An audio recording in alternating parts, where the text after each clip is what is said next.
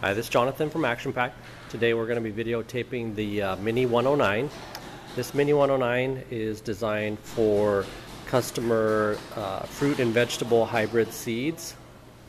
And as you can see, it's a single lane unit, uh, single foot pedal, speeds of about 8 to 12 cycles a minute depending on the, uh, on the requirements and the accuracy required. A few mods that we've done here is uh, you will see is we have the, the bulk and the dribble lane gate. The lane gate opens in the bulk mode to get the majority of the weight out. Then you have the fine tune dribble there that gets the, uh, the high accuracy. Uh, other few mods that we've done here is we've also lowered the hopper gate. The hopper gate uh, will ensure uh, smaller flow in the feeder pan, lower level in the pan, get you a little bit better accuracy that way as well. Uh, conical weigh bucket, round, no corners, no product to stick in any of the any of the corners.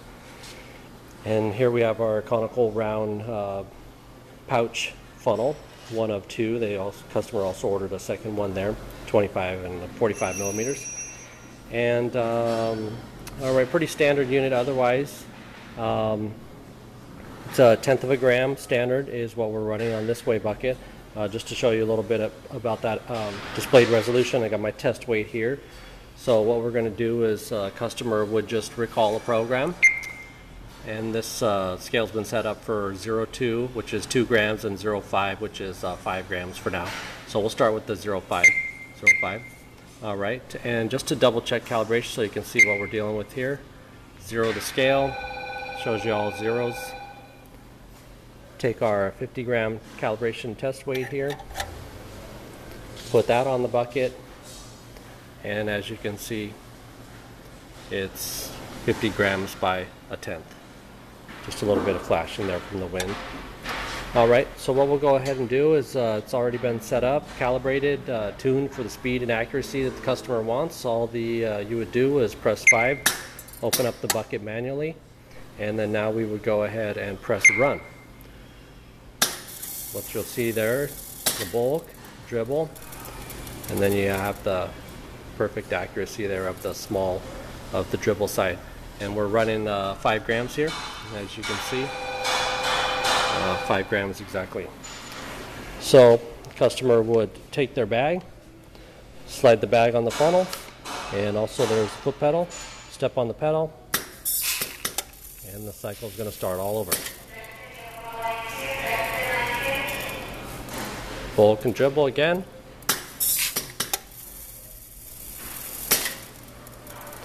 Very easy to change over from different products, different weight sizes.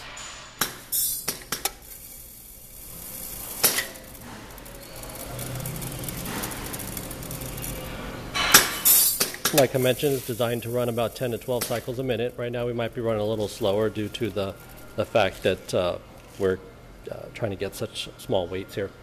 Uh, usually the, the minimum that the Mini would run is you know about five grams. We were able to actually get it to run the two grams, and I'll show you that right now. Um, but also, uh, and then the max is generally about 250 grams or so. All right, so all you have to do to change your uh, change your weight here is uh, stop it so you're not in the run mode, and then recall a different program. I've set up 02, so you recall program 02, and then you would place your bag under the uh, the funnel and then dump it. Okay, and then now what you would do is, is start. Now you'll see this, this weight is a little slower here. And you'll see on the screen exactly two grams. So you place your bag up under the funnel, step on the pedal. I have this cycle also re-zeroing every time just to ensure perfect accuracy. Also to help with the, the, the uh, weights, the stabilization, uh, it's important that you don't have any kind of wind or any kind of fans or any open doors when you're operating this. It's sort of like a lab balance.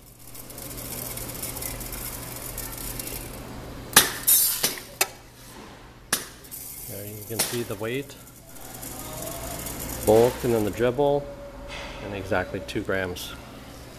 When you're operating these scales, you also want to uh, be as gentle as possible on the uh, putting the bag on and off the, um, the funnel.